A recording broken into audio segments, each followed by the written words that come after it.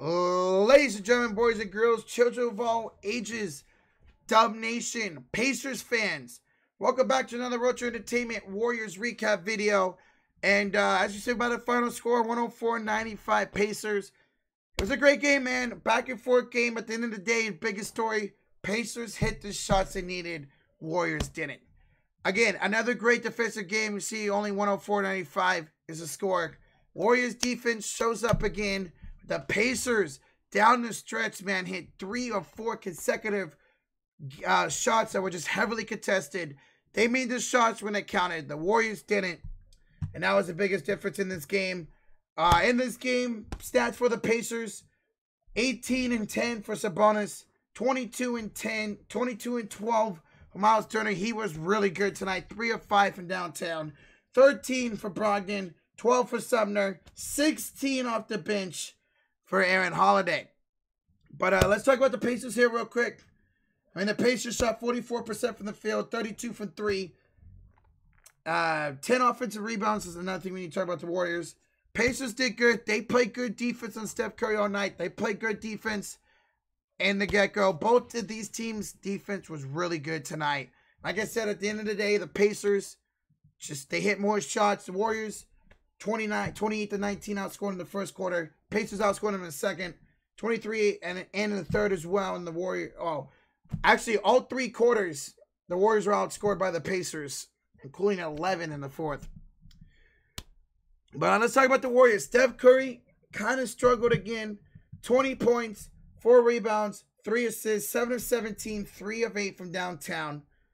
You know, Steph, Kind of struggled again, but he was starting to hit shots in the fourth quarter again, like he always does. Just he just needs to step up a little bit more. But again, Pacers did a great job defending against Steph. Andrew Wiggins, another great night. 7 of 17 shooting, 4 of 9 from downtown, 22, 7 and 3, 5 blocks. 5 blocks tonight from Andrew Wiggins. The Warriors defense, Wiggins, Draymond, Oubre, Wanamaker, Damion Lee, Kevon Looney, everybody played good defense tonight again, man. Warriors, they definitely missed Paschall. He was out of this game due to COVID protocols. We don't know his situation yet. Victor Oladipo did not play for the Pacers due to injury management.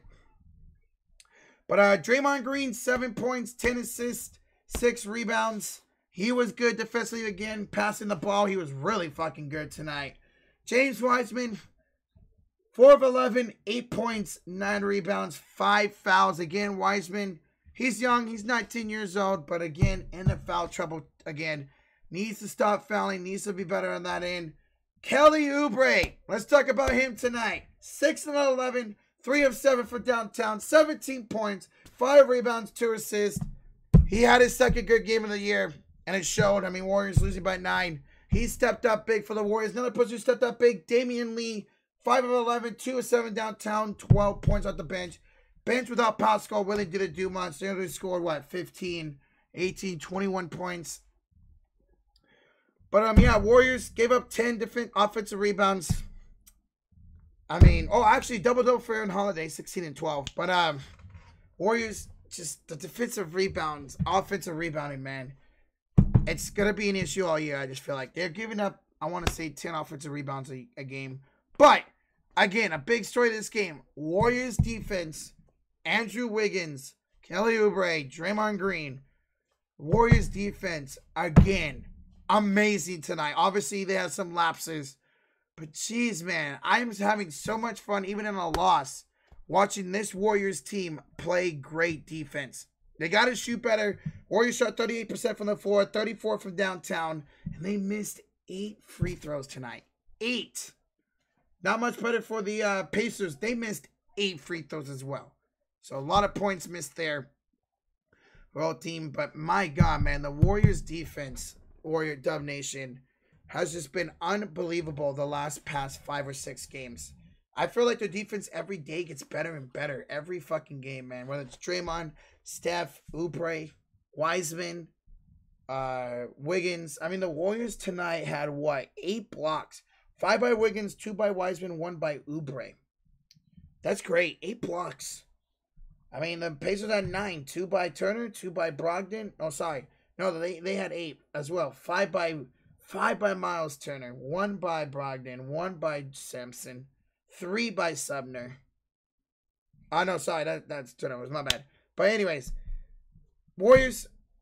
If I want to take a negative in this game, well, struggle shooting. Obviously, only 95 points, but that's where you miss 15 points off the bench from Eric Paschall.